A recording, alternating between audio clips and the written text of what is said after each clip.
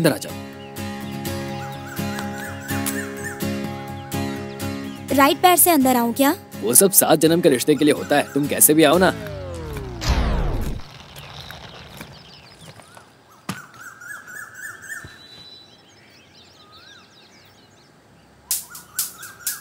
Hello यहाँ आओ ना।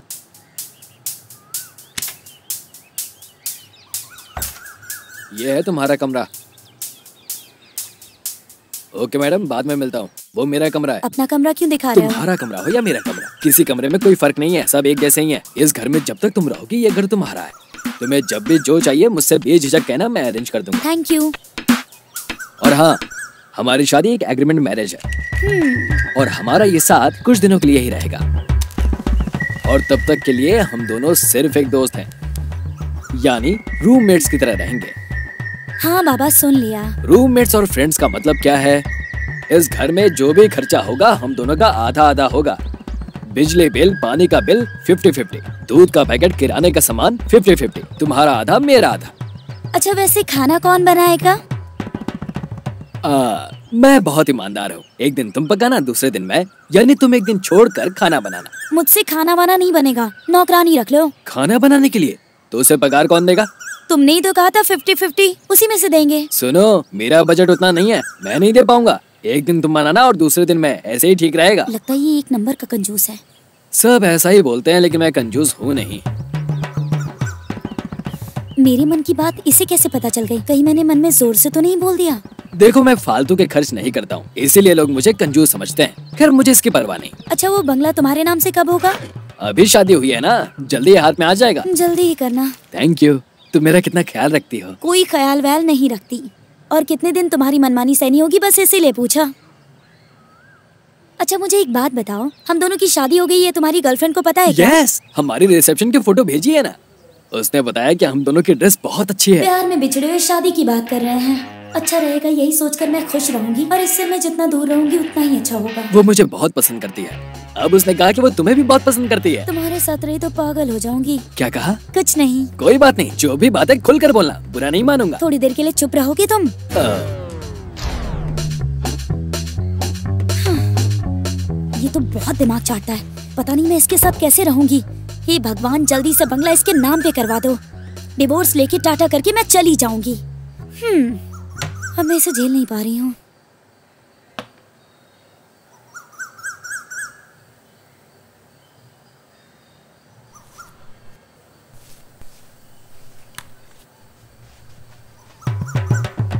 जरा एक मिनट आना। हे ये क्या अरे कर रहे हो? ना।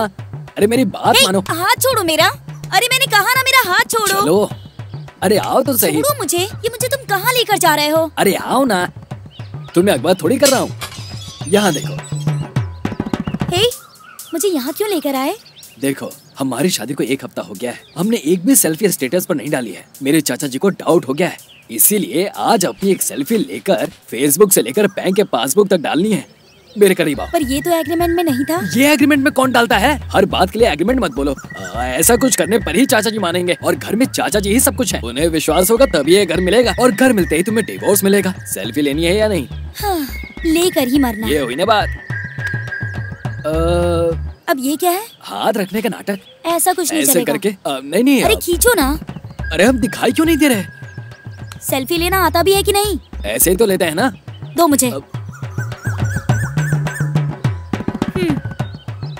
मुँह ऐसा क्यों बना रही है? सेल्फी के लिए ऐसे करते हैं। हम्म, हम्म, इस तरफ़ से।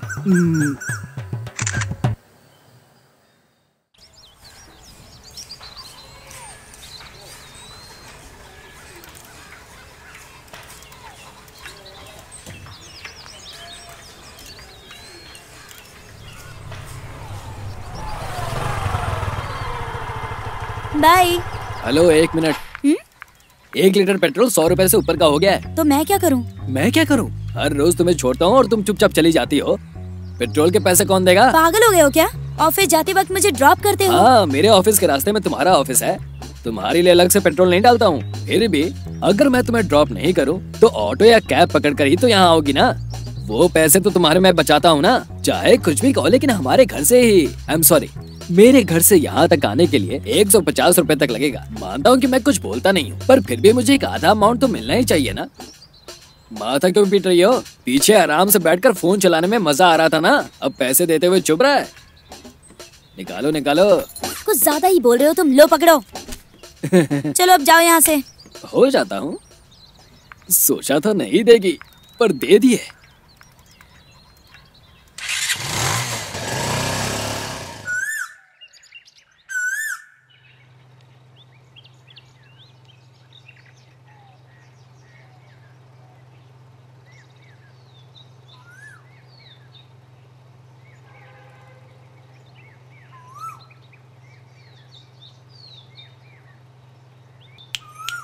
हेलो हम्म खाना एक दिन मैं बनाऊँगा और एक दिन तुम। यही हमारा एग्रीमेंट है। हाँ है। तो उसमें क्या हुआ? मैंने खाना बना दिया है। जाओ जाके ठूस लो।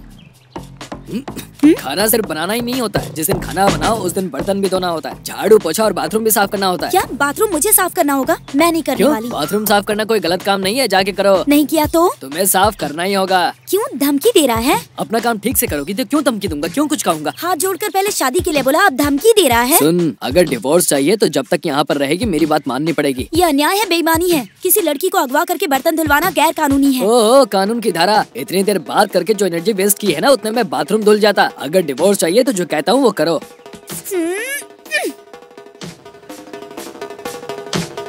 जा जा के मर जा रे प्यार करेगा क्या तू? जा जा के मर जा रे प्यार करेगा क्या तू? तू खुद को समझता है क्या बड़ा मजनू?